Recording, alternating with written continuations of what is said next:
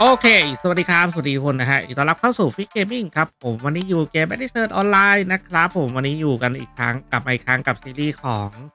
ไกด์พื้นที่การฟาร์มนะครับเอ่อไกด์เนี่ยจริงๆผมทำมาสำสำหรับผู้เล่นใหม่นะครับ แต่ผู้เล่นเก่าก็สามารถมาดูได้กรณีลืมว่าเออตรงนี้ฟาร์มยังไงนะ หรืออยากมาดูว่า ตรงเนี้ยฟาร์มแล้ว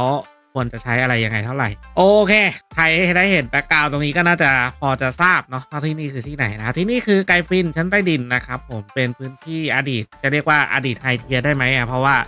ปัจจุบันนี้ gear season ก็สามารถมาฟาร์มได้แล้วอะโอเคนะครับผมมาเดี๋ยวเรามาดูตัวของเนื้อหากันตัว Gyfin ชั้นใต้ดินนะครับผมมันถูกปรับลดเอ่อ AP ลงมาเนาะตอนแรกมันเป็น AP 300มั้งถ้าผมจำไม่ผิด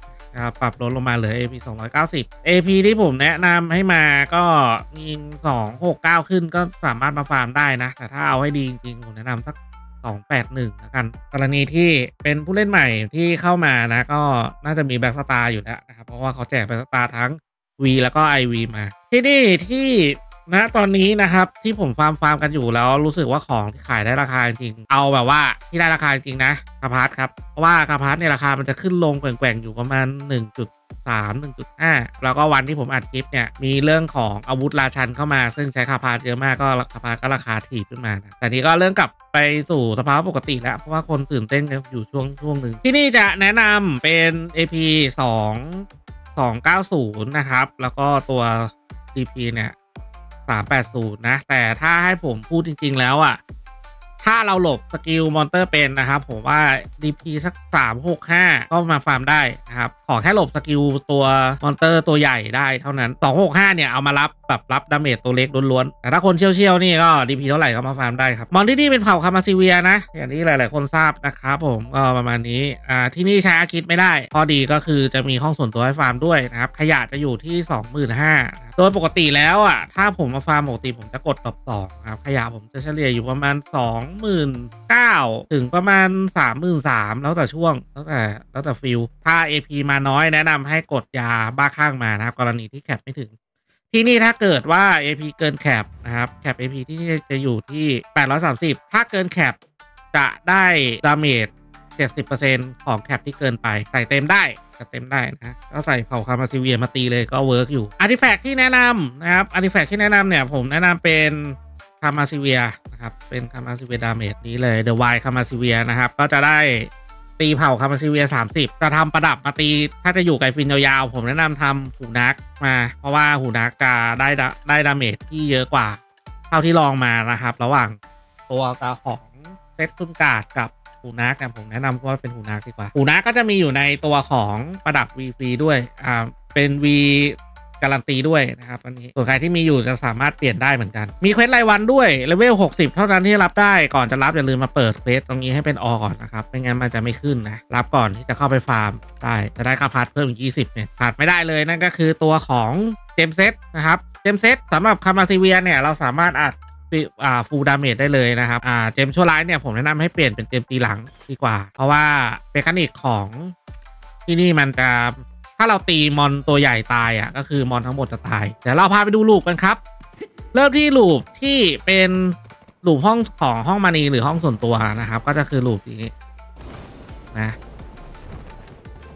ลูปนี้จะสามารถมาเข้าห้องส่วนตัวห้องมาดีได้นะครับ แล้วก็อีกลูปหนึ่งที่ผมแนะนำก็จะเป็นลูปห้องในสุดนะครับ ห้องผ่านตรงน้ำนี้ไป เป็นห้องนี้ก็ อีกลูปยอดฮิตครับ เป็นลูปข้างหน้า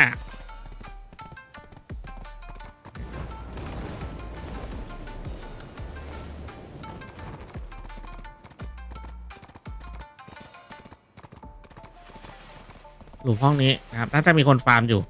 หลูปตรงนี้นะครับ ทางเข้าข้างหน้านี่ แล้วก็ loop สุดท้ายครับ loop ที่ผมคิดว่าน่าจะฮิตสุด ๆ ไปเลยนะ ก็คือห้องเล็กครับ ก็วิ่งเลยจากด้านหน้ามา วิ่งลงไปข้างล่างนะครับ จะผ่านตรงโถงกลางตรงนี้นะครับจะอยู่ในรูนี้รูนี้ก็จะเป็น loop ยอดฮิตเพราะว่าอ่า monster มันอยู่ใกล้กันครับ เวลาเวลาเราตีแล้วเราเก็บขยะมันจะเก็บได้เยอะกว่า ถ้าผมแนะนำว่าหลุมนี้ว่างขึ้นมาฟาร์มหลุมนี้ดีสุดครับ ตรงนี้ผมจะทำขยะได้อยู่ประมาณ 3 3 0 0 0เลย โอเค มาถึงในส่วนของ mechanic monster นะครับ เราจะสังเกตได้ว่าตอนนี้ผมได้ buff มานะครับ จะเป็น buff สีที่นี่มันจะต้องเลี้ยงต้องตี mon ตามสี buff ที่เราได้มาครับ โดยถ้าเกิดเปิดมาเนี่ย ผมแนะนำให้เล็งตีตัวที่เป็นจอมเวทก่อนครับ วิธีเราดูตัว monster เนี่ยเราดูยังไงนะครับ monster เนี่ยถ้าเป็นตัวใหญ่สุดถือค้อนเนี่ยตัวนี้จะสีแดงนะครับ ส่วนตัวที่นั่งอยู่เนี่ยจะเป็นสีฟ้า แล้วก็ตัวข้างหลังนู่นตัวที่เป็นเหมือนนักเวทผมผมวิ่งไปดูให้ตัวที่เหมือนนักเวทเนี่ยนะครับ อันนี้จะเป็นตัวสีม่วงครับ วิธีที่เราตีนะครับ ถ้าเกิด start loop เลยอ่ากรณีที่ไม่มีคนเลยนะครับ เราจะต้องตี monster พวกนี้วนไปก่อนเรื่อยๆ จนครบ 10 นาที หลังจาก 10 นาทีจะมี monster พิเศษที่ชื่อว่าเออน่าจะเป็นตัวชื่อว่าสิ้นหวังนะ แนะนำว่าถ้าตัวสิ้นหวังเกิดเนี่ย ให้เรารีบเล็งและตีมันเลยนะครับทำให้ monster ตัวเล็กเกิดให้เร็วที่สุดทำให้เราได้ขยะเยอะขึ้นด้วย monster ตัวเล็กตัวนี้ก็ไม่มีอะไรครับ ถ้าคือคุณ DP ถึงอะยืนชนได้เลยมันตีไม่เจ็บมาก อีกอันนึงนะคือถ้าเกิดเราฟาร์มไปเรื่อยๆเนี่ย มันจะมีตัวพิเศษขึ้นมาที่จะมีชื่อว่านักเชือดถ้าเป็นภาษาไทยนะ อืมตัวนั้นก็จะ ทำให้เราไม่สามารถตี mon ตัวอื่นได้นอกจากมันนะครับ เป็นตัวถ้าหลุมเนี่ยจะยืนอย่างนี้นะครับ แล้วก็จะไม่มีก็เราก็ burst damage ได้เลย ไม่ต้องรอนะ burst damage ได้พอหลังจากที่นักเชือดตายแล้วเนี่ย เราจะได้ buff พิเศษมาทำให้เราตี mon ทุกสีในนี้แรงมากๆนะครับ ก็คือถ้าเป็นโดซาเนี่ยสอง skill mon ตัวใหญ่ตายโอเค มาถึง mechanic หลักของที่นี่นะครับ ก็คือเราจะตีวนสีนะ โดยมันจะไล่ถ้าสมมติว่าเราเริ่มที่สีม่วงนะครับ มันจะไล่ สีม่วง สีแดง สีฟ้า แล้วก็กลับมาที่สีม่วง โอเคนะ เราก็จะตีตามสีนี้ถ้าสมมติว่าเราเราสตาร์ทที่สีม่วงนะครับ สตาร์ทที่ม่วงนะผมไม่กด buff อาหารกดแค่ bell ละนะครับ สตาร์ทที่สีม่วงครับโดย mon เริ่มมาเนี่ย มันจะมี buff เกราะของมันขึ้นมาก่อนนะ ก็ต้องใช้เวลาหน่อย ถ้าคนไม่เคยฟาร์มเนี่ยจะต้องรอให้มัน ให้ buff เกราะมันหมดก่อนแล้วค่อยเริ่มลง damage ครับเนี่ยให้เราสังเกตที่ตัว buff นะครับ ตัว buff เนี่ยจะเป็นให้ตีตัวสีแดงก็จะเป็น buff สีแดงเลย โดยถ้าเกิดใครเปิด remaster เปิดเอฟเฟกต์สูงๆที่ตัวเราก็จะมี buff ขึ้นเป็นสีแดงนะครับตรงนี้จะทำให้เราตี mon สีแดงแรงมากขึ้นนะครับ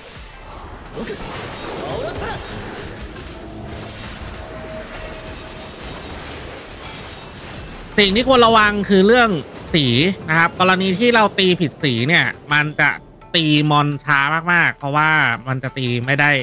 ไม่ได้อ่าพลังโจมตีที่เต็มที่นะครับ น่าจะเหลืออยู่แค่ประมาณ 70%นะครับแล้วก็ที่สำคัญเลยสำหรับสาย summon นะครับ ไม่ว่าจะเป็นฮาซาซินหรืออะไรก็ตามแต่ที่มัน summon mon หรือวาง damage ไว้เนี่ย ระวังต้องระวังมาก ๆ นะครับ อย่าให้ไอที่เรา summon ไว้อะมันไปตีผิดสี ไปเปิดมอนผิดสีนะอ่าเมื่อกี้ผมฆ่าสีฟ้าไปแล้ว ตอนนี้ก็คือผมได้ buff สีม่วงผมก็ตีสีม่วงครับ มันก็ถ้าสังเกตอะ ผมจะตี mon ง่ายมากขึ้นนะจะตี mon ง่ายมากขึ้นอันนี้ผมไม่ได้ buff อะไรนะ ก็มีแค่ buff tent อาหารก็ไม่ได้กินนะครับ ใส่แค่แล้วก็กดแค่ bell ตี mon ง่ายมากๆปึ๊บ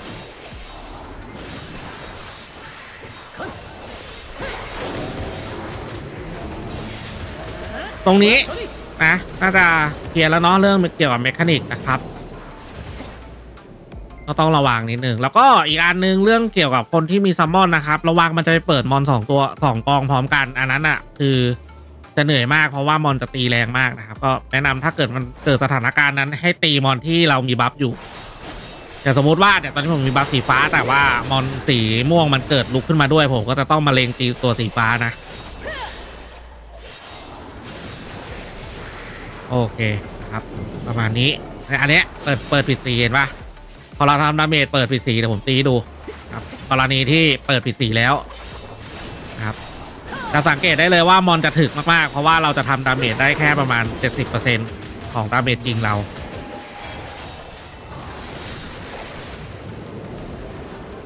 ผมจะถึกกว่าปกติ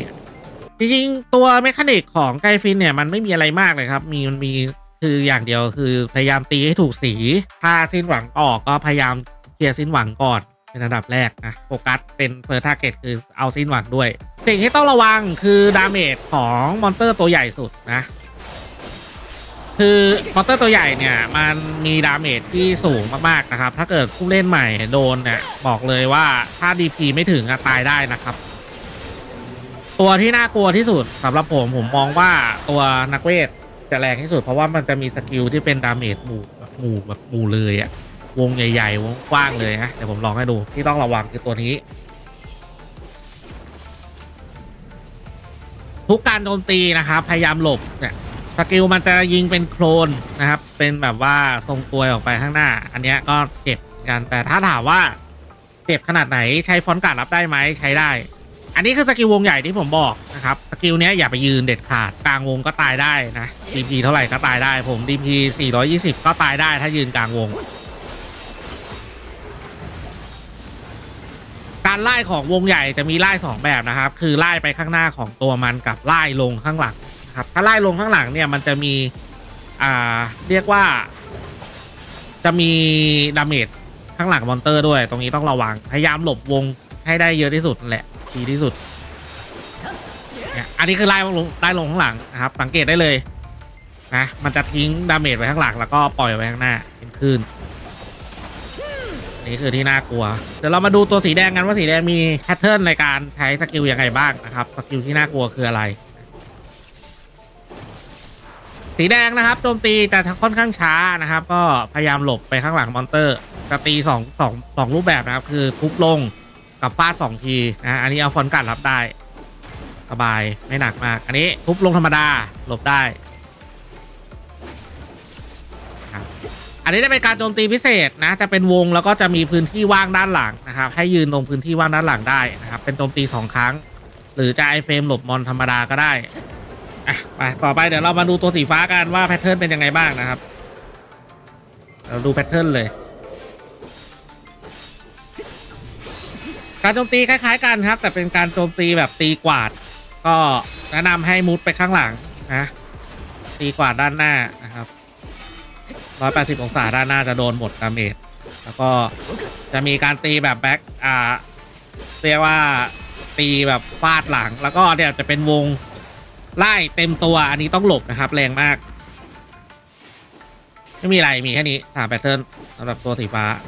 ค่อนข้างฟาร์มง่าย โอเค ก็จบกันไปแล้วนะครับสำหรับไกด์ของ Gyfin Underground หรือ Gyfin ชั้นใต้ดินนะสำหรับผู้เล่นใหม่นะครับ ที่ยังฟาร์มไม่เป็นนะ อันนี้ผมก็มันน่าจะละเอียดที่สุดเท่าที่ผมจะทำได้แล้ว จริงๆอ่าย้ำมาอีกครั้งนะครับ ก็คือ Gyfin เนี่ย ถ้าเราหลบการโจมตีตัวใหญ่ได้ตัวที่เหลือเนี่ยมันค่อนข้างที่จะง่ายแหละเพราะว่า damage มันก็ไม่ได้เยอะนะครับ damage จะหนักจริงๆก็คือตัวตัวใหญ่นี่แหละนะครับแล้วก็การที่เราโจมตีตัวใหญ่ตายก็ทำให้ตัวเล็กทั้งหมดตายเหมือนกัน แล้วก็ที่เหลือไม่มีอะไรแล้วตีถูกสีก็พอ โอเค ก็หวังว่าจะมีประโยชน์ครับสำหรับคุณผู้ชมที่กำลังมองหาวิธีการฟาร์มที่ Gyfin ชั้นใต้ดินนะ แล้วก็คนที่ขอเรื่อง